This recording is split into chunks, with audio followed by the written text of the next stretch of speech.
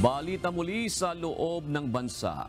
Hindi maitanggi o makumpirma ng Philippine National Police ang impormasyon na nasa bansa na ang mga kinatawan ng International Criminal Court.